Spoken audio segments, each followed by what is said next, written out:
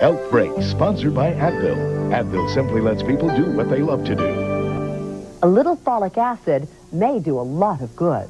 A new study finds that eating cereal grain foods fortified with folic acid can work wonders, reducing a woman's chance of having a baby with birth defects, reducing amino acids linked to heart disease, and generally boosting levels of this important B vitamin.